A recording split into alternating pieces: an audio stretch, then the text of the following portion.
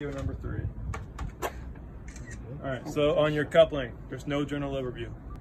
You just start right into it. So my airlines and electrical lines, have no, it's not cracked, damaged, loose, no abrasions, bumps, or cuts, and they're not leaking. They're properly secure from the truck to the trailer. My electrical plug has no bent or missing pins and no debris. My glad hand rubbers have no abrasions, bumps, or cuts, and they're properly secured to the trailer. Do you need to say glad hands and glad hand rubbers, or can you just say glad, Glad hand rubbers? seals. Okay. Glad hand rubbers, glad hand seals. Okay.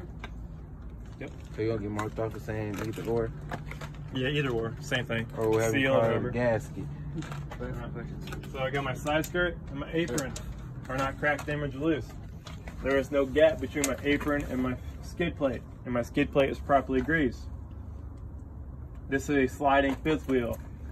My locking pins are not cracked, damaged, or loose, and they're in the lock position.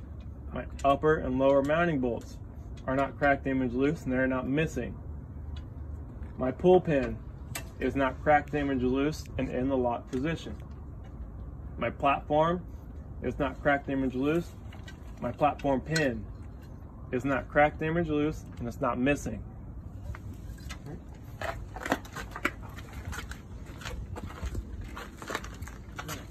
My locking jaws are not cracked, damaged, or loose. They're in the lock position completely around the kingpin.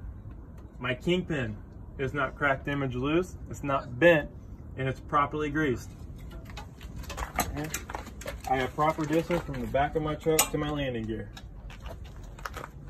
Yeah, I think you that back.